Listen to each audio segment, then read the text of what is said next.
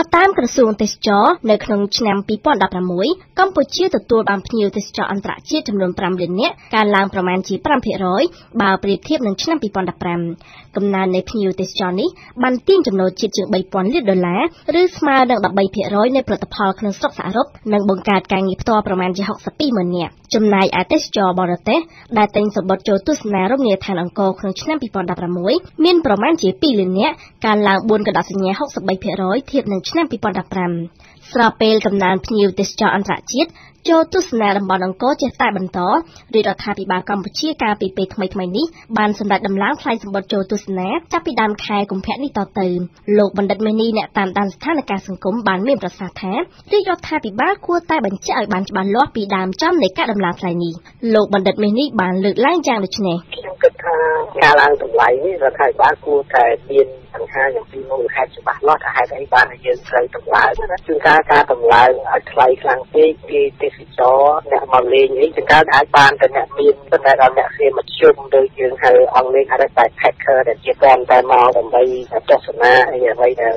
ងាយងាយឲ្យគេអត់បានមកអញ្ចឹងជួនកាលយើងចង់បានតម្លើងច្រើនប៉ុន្តែចំនួនទេសចរអាចថយតិចក៏ប៉ុន្តែលោកលីសែនាយកប្រតិបត្តិគ្រឹះស្ថានអង្គរដែលជាស្ថាប័នចាត់ចែងការលក់សម្បត្តិចូលទស្សនារមណីយដ្ឋានអង្គរបានឆ្លើ យតបថាមែនទែនទៅចាប់តាំងពីឆ្នាំ1994ដល់ឆ្នាំ2016កម្ពុជាមិនធ្លាប់បានដំឡើងថ្លៃសម្បត្តិចូលទស្សនានោះឡើយហើយការដំឡើងថ្លៃសម្បត្តិនេះគឺជាតម្លៃមួយដែលអាចទទួលយកបានបើប្រៀបធៀបនឹងរមណីយដ្ឋាននៃបណ្ដាប្រទេសជិតខាងនាយកប្រតិបត្តិគ្រឹះស្ថានអង្គរបញ្ជាក់យ៉ាងដូចនេះសូមបញ្ជាក់ ថាសម្បត្តិយើងយើងđãអនុវត្តតាំងពីឆ្នាំ1994តម្លៃ20ដុល្លារហ្នឹងដែលយើងដាក់ហ្នឹងពេលហ្នឹងគឺថារដ្ឋបានកំណត់តម្លៃអញ្ចឹងមកគិតទៅពី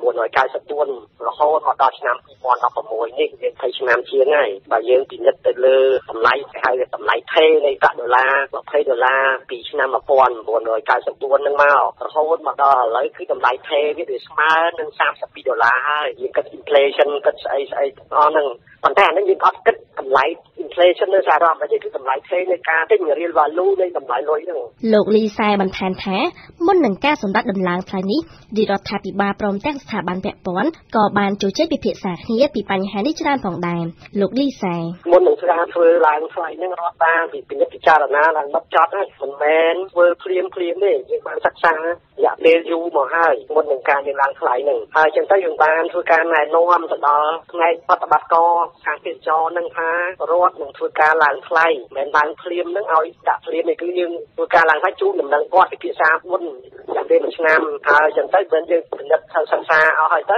រដ្ឋាភិបាលបានអនុវត្តការអនុវត្តនោះគឺចាប់ពីក្នុង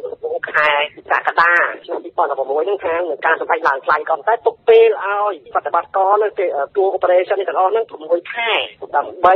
យើងធ្វើការឡើងថ្លៃរបស់ហ្នឹងអញ្ចឹងទេការឡើងថ្លៃនេះយើងបានសិក្សាពីជាតិរហូតទៅដល់តម្លៃដែលរមណីយដ្ឋានដទៃទៀតនៅលើពិភពលោកហ្នឹងតើតម្លៃយ៉ាងម៉េចស្ថានភាពយ៉ាងម៉េចអីហ្នឹងអញ្ចឹងយើងគិតថា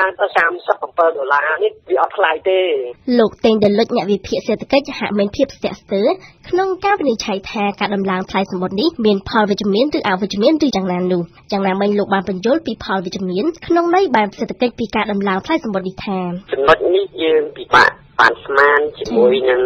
ការវិតម្លៃព្រោះថាទស្សនាករវាមិនទាន់បានកើតឡើងជាទីទៅការប្រមាណមើលវាអាស្រ័យទៅលើពេលខ្លះការវិភាគរបស់យើងយើងសន្និដ្ឋានបានអញ្ចឹងប៉ុន្តែ លទ្ធភាពជាក់ស្ដែងអាស្រ័យទៅលើលទ្ធផលដែលសម្រេចបានទីមួយជំរុញនៅបង្កើននៅចំណងក្នុងកាយវិការជាតិប្រសិនបើចំនួនភ្ញៀវលាក់ចុះតិចតិចឬក៏នៅរក្សាកំណើនដដែលឬក៏កើនជាងមុនប៉ុន្តែវាជាចំណុចវិជ្ជមានមួយទៀតគឺថាយើងនឹងអាចពង្រឹងនៅគុណភាពរបស់អ្នកចរមិនថាទេសចរដែលមានគុណភាពខ្ពស់ថាជាមុនដែលយើងចង់ចម្រាញ់ ជ្រើសរើសយកលោកតេងដលិតបន្តចំណុចទី3វាពាក់ព័ន្ធជាមួយការចំណាយផ្សេងផ្សេងដែលវាកើនឡើងដូចក៏យើងត្រូវតែជំរុញនៅការតម្លៃតម្លៃសម្បត្តិព្រោះថាសម្បត្តិរបស់យើងតម្លៃជាច្រើនឆ្នាំមកហើយវាមានការកើនឡើងជាពីខ្លះការចំណាយក៏យើងត្រូវការតម្លើងប្រតិបត្តិជូនមន្ត្រីទៅតាមជំនាញការបង្កើននៃការកសាងហេដ្ឋារចនាសម្ព័ន្ធបើលុយនោះត្រូវបានយកមកប្រើប្រាស់ត្រឹមត្រូវ ចំពោះចំណុចអវិជ្ជមានតាមរយៈការដំឡើងថ្លៃសម្បត្តិចូលទស្សនាតំបន់អង្គរវិញត្រូវបានអ្នកវិភាគសេដ្ឋកិច្ចរូបនេះបញ្យល់ថាបើសិនជាទស្សនៈក្នុងផ្នែកសេដ្ឋកិច្ចវិញគឺយល់ថាការបង្កើនតម្លៃជាកំហុសធ្វើតែគុណនឹងទ្វេដងនឹងគឺជាមិនមែនជាវិធីសាស្ត្រល្អซึ่งវិធីសាស្ត្រដែលល្អគឺការបង្កើនតម្លៃជាដំណាក់កាលទីមួយអវិជ្ជមានវាពាក់ព័ន្ធជាមួយនឹងទីមួយគឺវាធ្វើឲ្យបាត់បង់នៃការប្រកួតប្រជែងមានន័យថាយ៉ាងម៉េចមានន័យថាធ្វើឲ្យក្រុមហ៊ុនទេសចរដទៃទៀតដែលជាប់ ទេសចរនឹងថ្លៃកញ្ចប់ទេសចរប្រកបកើនថ្លៃវាធ្វើឲ្យក្រុមហ៊ុនទេសចរខ្លះគាត់បាត់បង់អតិថិជនប្រកបការបាត់បង់នៅជាទេសចរនឹងវាទី2វាធ្វើឲ្យមានផលប៉ះពាល់ទៅដល់អ្នកប្រកបរបរអាជីវកម្មទូផលទៅលើសេវាកម្មទេសចរដូចជាអ្នករត់អត់តឬក៏អ្នកលក់ម្ហូបអាហារភោជនីយដ្ឋានឬក៏សេវាកម្មនានាប្រសិនបើផលប៉ះពាល់ទៅកើតឡើងចំណុចទី3វាពាក់ព័ន្ធជាមួយនឹងការប្រកួតប្រជែងក្នុងទីផ្សារទេសចរក្នុងតំបន់ទេសចររបស់យើងពេលខ្លះវា អាចមិនមែនតែការប្រកួតប្រជែងការតាមរយៈការតម្លៃតម្លៃប៉ុន្តែការធ្វើឲ្យមានតរិយភាពរវាងកាយថាមជ្ឈមណ្ឌលទេសចរពេលខ្លះទេសចរដែលមកស្រុកខ្មែរយើងហ្នឹងក៏ផ្ដោតតែទៅតំបន់អង្គរចឹងអ្វីដែលយើងធ្វើឲ្យប្រសើរឡើងប្រសិនបើជាឱកាសល្អដែលភ្ញៀវនឹងក៏ចិត្តរក្សាតម្លៃសមរម្យមួយដែលអាចមានកម្លាំងភ្ញៀវច្រើនប៉ុន្តែបង្វែរកញ្ចប់ទេសចរទាំងអស់ហ្នឹងទៅតំបន់ទេសចរដទៃទៀតដែលទាក់ទាញធ្វើឲ្យ យើងទទួលផលបានច្រើនជាងពីការយុទ្ធសាស្ត្របង្កើនតម្លៃព្រមជាមួយគ្នានេះលោកបណ្ឌិតមេនីក៏បានលើកឡើងពីក្តីបារម្ភដែរថាតាមពិតត្រូវព្រោះឥឡូវឡើងហើយយើងបើយើងមើលពីខាងវិស័យទេសចរនោះតាមរដ្ឋាភិបាលខ្មែរធ្លាប់បដិសេធថា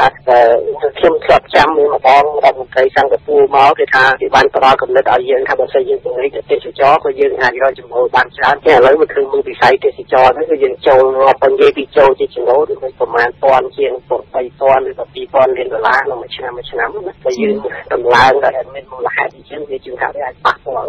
ធម្មតាមនុស្សអ្នកដើរលេងមិនមែនសិតតែអ្នកមានទាំងអស់ទេណាទោះបីជាយ៉ាងណាក៏ដោយលោកលីសានាយកប្រតិបត្តិនៃគ្រឹះស្ថានអង្គរមិនយល់ដូច្នេះទេតាមការកត់សម្គាល់របស់លោកចំនួនភ្ញៀវទេសចរដែលបានកក់សម្បត្តិចូលទស្សនារមណីយដ្ឋានអង្គរក្នុងរយៈពេល2ទៅ3ខែខាងមុខទៀតនោះគឺមិនបានថមថយនោះទេលោកលីសាពន្យល់បន្ថែម ខ្ញុំពិនិត្យទៅតួលេខរហូតដល់ថ្ងៃនេះអត់ទាន់បានឃើញសញ្ញាឡើយទេទី2យើងអត់បានអនុវត្តនៅឡើយណាយើងអត់អាចមើលឃើញថាតែទេប៉ុន្តែបើមើលតាមការ booking ដែលនៅតាមសន្តាគារដែលគេ booking រយៈពេលខែទី3ខែមុនហ្នឹងគឺថាស្ថានភាពគឺអត់មានឃើញសញ្ញាអីដែលវាប៉ះពាល់នោះទេលោកលីសែបញ្ជាក់ទៀតថាតាមរយៈការចំណាយថ្លៃសម្បត្តិច្រើនជាងមុនភ្ញៀវទេសចរក៏អាចទទួលបានអត្ថប្រយោជន៍ជាច្រើនផងដែរការឡើងថ្លៃហ្នឹងបើយើងគិតទៅតម្លៃលុយលេខនេះគឺនឹងច្រើនចឹងក៏តែយើងមកគិតជាតម្លៃទឹកវាអត់ឡើងច្រើនទេរយៈពេល20ឆ្នាំជាងហើយដែលយើងរត់អត់បានឡើងហ្នឹងចឹងទៅយើងឡើងថាជា3ដុល្លារទេបើគិតជាតម្លៃលេខយើងគិតមើលចូលមួយស្បត់មួយថ្ងៃ32ដុល្លារយើងអត់លក់នៅតាមតម្លៃនៅតាមប្រាសាទនីមួយៗ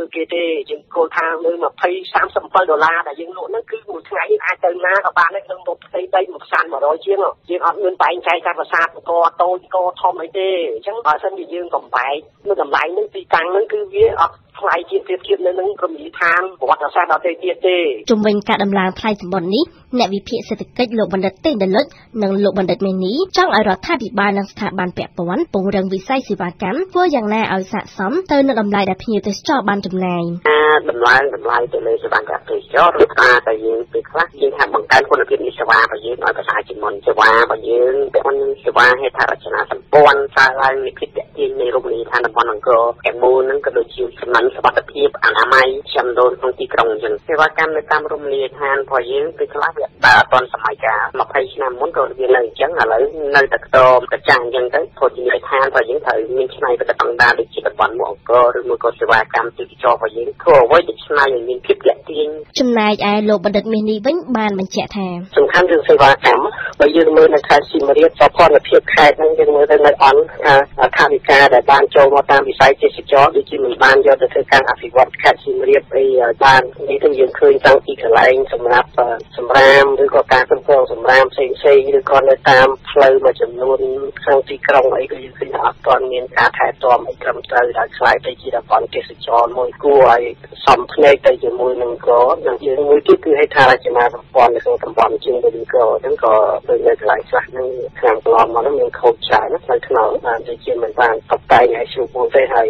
សុវត្ថិភាពមើលទៅដូចជាមិនសូវមានអីដែរសៀមរាបក៏បានខាងការពារសុវត្ថិភាពប៉ុន្តែឆ្លើយតបនឹងការលើកឡើងខាងលើនាយកគ្រឹះស្ថានអង្គរលោកលីសែបានសង្កត់ធ្ងន់ថារដ្ឋាភិបាលនឹងយកចំណូលដែលទទួលបានពីការដំឡើងថ្លៃសម្បត្តិនេះទៅអភិវឌ្ឍគម្រោងនានានៅតំបន់អង្គរលោកលីសែរដ្ឋាភិបាលបានបានដាក់ណែនាំជាគោលការណ៍គឺថាមានស្ថាប័នគឺខាងកោគាត់ជាអ្នកបប្រតិបត្តិតនៃការលក់តម្លៃដើម្បីប្រមូលចំណូលទេការអភិវឌ្ឍការរៀបចំហេដ្ឋារចនាសម្ព័ន្ធស្អីដល់ហ្នឹងគឺមានអាជ្ញាធរស្ដារហើយគាត់មាន master plan បពតគាត់មានការធ្វើអញ្ចឹងគាត់នឹងរៀបចំប៉ុន្តែយើងមិនថាធ្វើមួយថ្ងៃបានទាំងអស់ទេគាត់មានផែនការរបស់គាត់អភិរក្សរបស់អភិរក្សយើងយល់ហើយតើត្រូវការធ្វើត្រូវការពិនិត្យដីវាស្អីទៅធ្វើមិនឲ្យមានរក្សានៅតាមស្តង់ដាររបស់ជា UNESCO គេនោះអញ្ចឹងទៅឃើញបងគេខាំងគេអីទៅគឺគេអភិរក្សធ្វើឲ្យល្អជាងមុនឲ្យគុណភាពឲ្យជួសជុលអីហ្នឹងអភិរក្សហ្នឹងអានេះគាត់ថាបាលមានផែនការ ារមានគោលនយោបាយហ្នឹងគាត់សុំជាក់ថាចំណូលទាំងអស់ហ្នឹងគឺចូលទៅឲ្យថវិកាជាតិហើយនឹងថវិកានឹងបានបែងចែកទៅឲ្យការរៀបចំនឹងមានគម្រោងនឹងអត់ចោះគេចាស់ហ្នឹងជាខ្លីបង្រឹងសេវាឲ្យមានគុណភាពល្អជាងមុនឲ្យមានប្រសាជាងមុនអញ្ចឹងគឺការឡើងថ្លៃគឺត្រូវភ្ជាប់ជាមួយការពង្រឹងសេវាទីមួយពង្រឹងទៅលើហេដ្ឋារចនាសម្ព័ន្ធហើយកន្លែងផ្លាកសញ្ញាអស់នឹងហើយដើម្បីឲ្យគាត់ទៅឲ្យមានផែនទីឲ្យមាននៅក្នុងនឹងមានមាន Wi-Fi មាន access អីទៅ internet អីទាំងអស់ហ្នឹង